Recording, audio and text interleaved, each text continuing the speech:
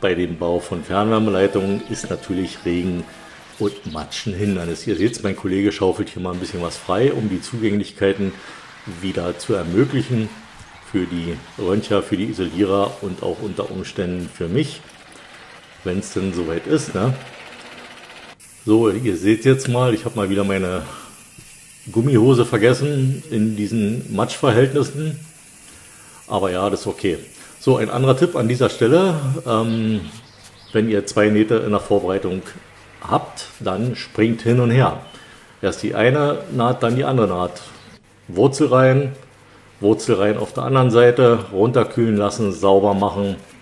Die Wurzel, dann die nächste Zwischenlage hin und her. Das ist natürlich sehr sinnvoll, immer von einer Naht zur anderen zu gehen, wenn ihr da im unmittelbaren Bereich seid. Ja, das Runterkühlen ist natürlich auch sinnvoll, ist ja logisch, nicht zu viel Hitze reinbringen in die Schweißerei. Ich gebe euch mal kurz ein paar Parameter. Wurzel 95 bis 105 Ampere, 3 mm Schweißdraht. Die Zwischenlage 2,4 mm mit äh, circa bis 130 Ampere plus minus. Zweite Zwischenlage und dritte Zwischenlage von 145 bis 160 Ampere, je nachdem wie ihr drauf seid. In diesem Fall hier reichen 145 Ampere aus. So stark wandig ist das Rohr auch wieder nicht.